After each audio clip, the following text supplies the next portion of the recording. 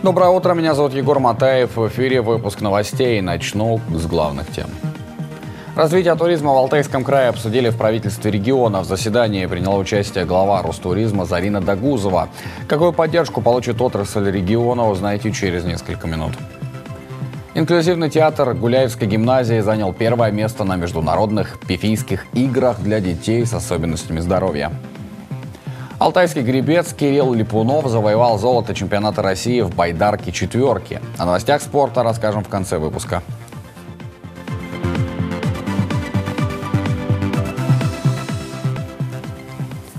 Порядка 30 миллиардов рублей намерены вложить частные инвесторы в развитие туризма в Алтайском крае. Поможет аккумулировать такие средства новая программа льготного кредитования, предусмотренная в национальном проекте «Туризм. Индустрия гостеприимства». Эту тему представители туриндустрии обсудили в правительстве региона с главой Ростуризма Зариной Дагузовой. Подробности в сюжете Глеба Полянского. Особый акцент при разработке нацпроекта сделали на поддержку турбизнеса, чтобы предприниматели в регионах были заинтересованы в развитии современной туристской инфраструктуры. Бизнес сможет получать кредиты на выгодных условиях, так как государство компенсирует коммерческим банкам ключевую ставку Центробанка, что позволит сделать условия для потребителей финансовых продуктов очень выгодными, а ставку по кредитам не более 5% годовых. Это действительно очень выгодная а, ставка кредитов кредитная и позволяет инвесторам активнее а, развивать э, туристическую инфраструктуру, так как сокращает сроки окупаемости объектов, то есть для а, инвесторов складывается совершенно иная а, экономика. Как известно, сегодня в туризм все-таки в большие особенно объекты сложно вкладываться, длинные сроки окупаемости. Поэтому мы в предварительных заявках видим очень большой объем проектов от Алтайского края с фокусом на Белокуриху, а, и на предгорье Алтая Бирюзовая Катунь а, и а, район, собственно, озера Ая. Согласно предварительным заявкам, инвесторы уже готовы вложить в развитие туризма на Алтае порядка 30 миллиардов рублей. Еще одна мера поддержки коснется малого и среднего бизнеса. Средства будет получать регион и распределять среди предпринимателей на конкурсной основе. В приоритете развитие некапитальных модульных отелей, кемпингов, обустройство пляжей и туристических маршрутов. Немаловажной задачей является и уход от сезонности в региональном туризме. На предстоящий год уже запланировано серьезное государственное финансирование отрасли в крае.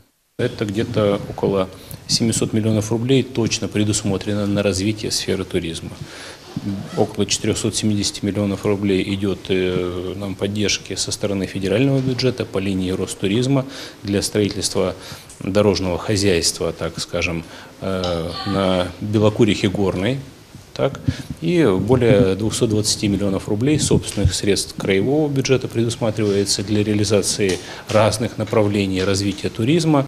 В Алтайском крае также стартовал конкурс заявок на соискание ежегодных грантов губернатора в сфере развития туризма. Материальную поддержку получат социально значимые проекты некоммерческих организаций. Всего на гранты направили 1 миллион рублей, сообщили в Алтай-турцентре. Подать заявку можно до 10 октября. Глеб Полянский, Дмитрий Козерлыга. Новости.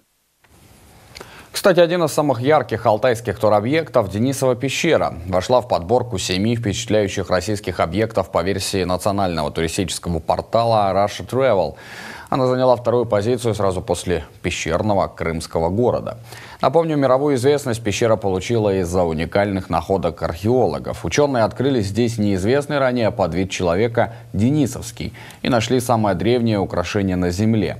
Кроме того, Денисова пещера – это единственный из археологических объектов страны, который признали особо ценным объектом культурного наследия. Алтаец отчитал туристов, которые оставляли наскальные надписи на одной из гор в республике Алтай. Видеозапись встречи опубликовали в инстаграме новостей Горного Алтая. Чагин Тиханов, экскурсовод и коренной алтаец. По его словам, активисты очищают стены от рисунков на свои деньги. И когда он увидел, что туристы пишут на скале, остановился и спросил, зачем они это делают. Художники ответили на память для последующих поколений. Я понимаю, везде много написано, но это делают дебилы. Вы же не такие люди. Вот если вот вы представьте, да, вот представьте. Я алтаец, да? Я родился здесь, я вырос. Это мой дом, это мои стены. Я приехал к вам домой и разрисовал все ваши обои дорогущие. Вам будет приятно.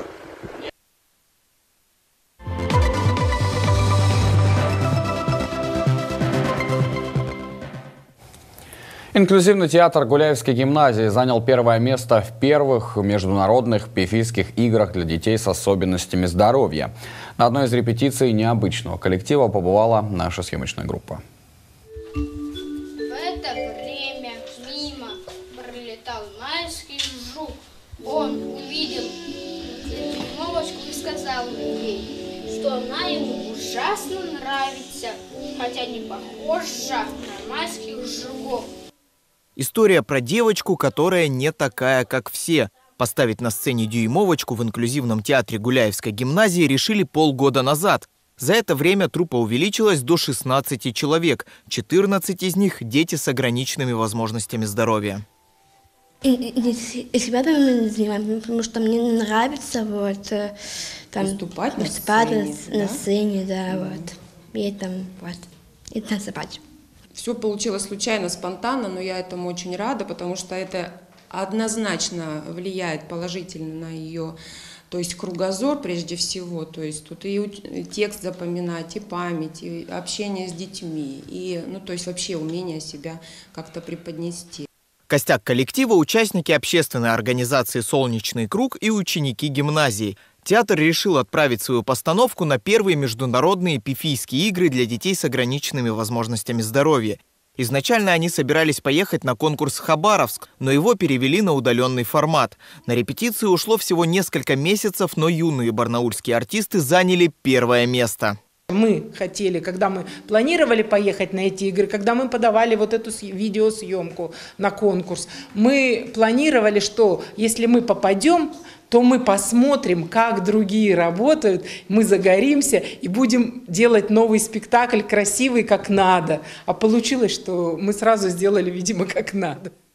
Маленькие артисты работали как профессионалы. Репетировали три раза в неделю, готовились с режиссером Анной Бекчановой, актрисой Краевого театра драмы. Даже декорации сделаны руками детей и их родителей. Каждый участник коллектива приложил максимум усилий, чтобы занять первое место. Э, мы не стали, э, вот ты плохо говоришь, ты, у тебя будет молчаливая роль. Ничего подобного говорят все. Все танцуют и все делают то, что нужно. Поэтому, наверное, получилось. Ну и плюс, конечно, талант режиссера и, я не знаю, какое терпение и какой талант родителей. Участники коллектива навсегда вписали свои имена в историю пифийских игр. Но для них театр чуть больше, чем просто хобби. Это близкий круг людей, которые всегда поддержат друг друга. И первое место на международном фестивале – лишь одна из их побед, причем не только на сцене. Вадим Слюсарев, Дмитрий Козерлыга. Новости. И о спорте. Алтайский спортсмен стал чемпионом России в гребле на байдарке четверки. Кирилл Липунов завоевал золото на дистанции 1000 метров. Его лодка показала результат 2 минуты 59 секунд. Замечу, Кирилл представлял два региона – Москву и Алтайский край. На соревнованиях в Краснодаре также участвовал воспитанник Барнаульской спортшколы имени Костенко Владлен Ушаков. Его квартет пришел к финишу пятым. К этому часу пока все. До встречи в эфире.